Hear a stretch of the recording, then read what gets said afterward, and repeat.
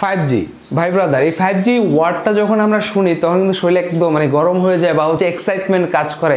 অন্য একটা জেনারেশনে আমরা চলে যাব, প্রথম ছিল থ্রি জি তারপর ফোর জি এখন ফাইভ জি মানে ওয়াও লেভেলের ফাইভ জি মানে আপনার ফোনটা আরও বেশি স্মুথলি কাজ করবে আরও বেশি ফাস্ট হবে আরও বেশি ফিচার অ্যাড হবে।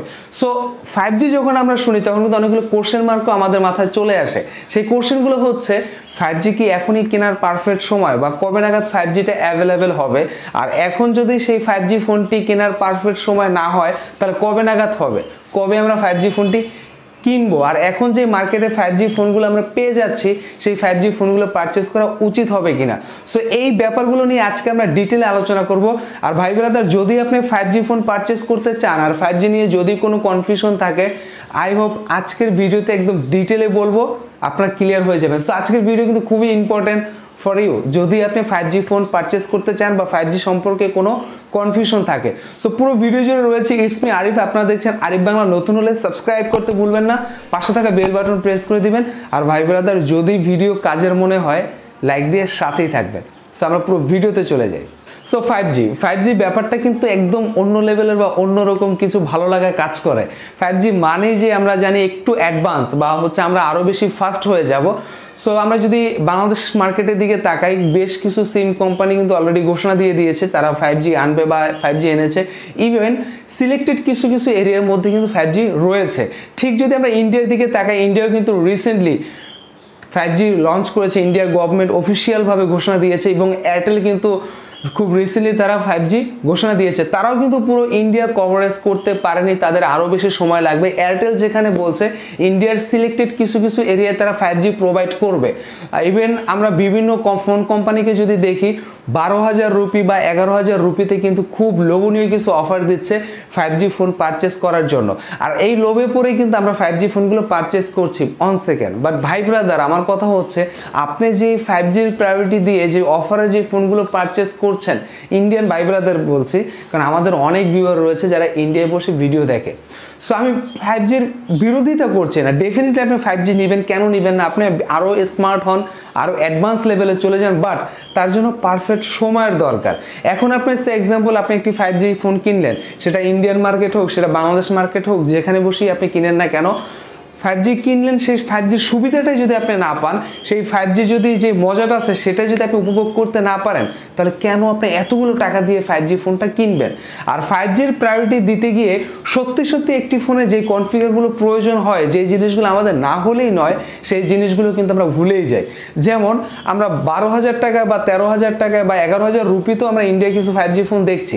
সেই ফোনগুলো যদি আপনি শুধুমাত্র ফাইভ জির জন্যই পারচেস করেন, তাহলে কিন্তু আপনার এখানে ক্যামেরা স্যাক্রিফাইস করতে হচ্ছে। ভালো চিপসেট পাচ্ছেন না ইভেন ভালো বিল্ড কোয়ালিটিও পাচ্ছেন না।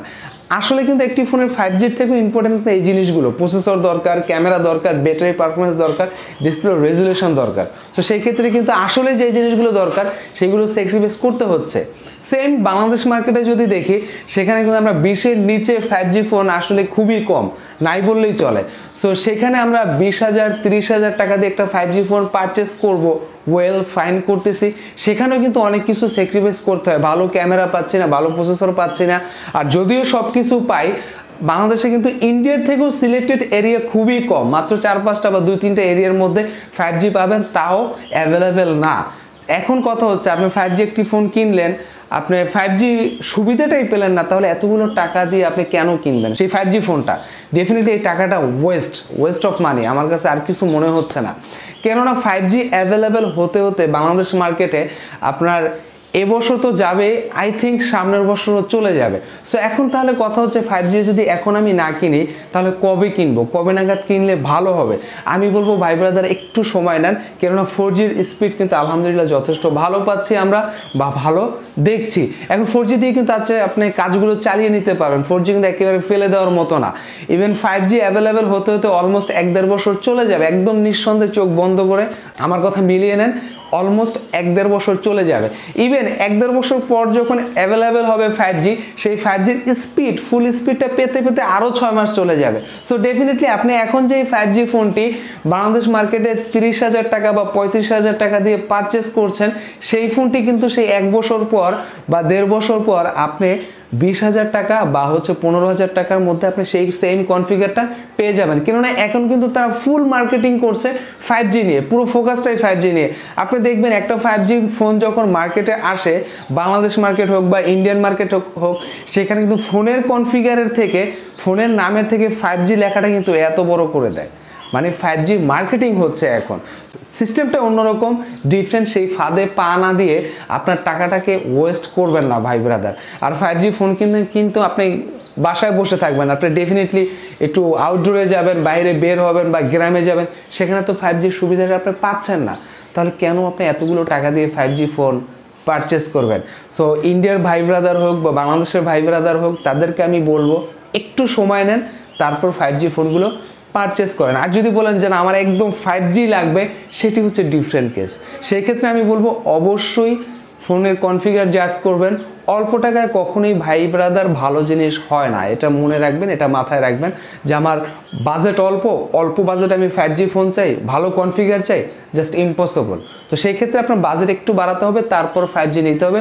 বাট ভাই ব্রাদার হিসাবে আমি সাজেশন দিব, আমি বলব যে এখন ফাইভ জি কেনার পারফেক্ট সময় না। আর একটু সময় নেন, ছয় মাস, এক বছর যাক দেন ফাইভ জি অ্যাভেলেবেল হোক। একটু বুঝেন। স্থির হন, তারপর ফাইভ জি ফোনটি কিনেন।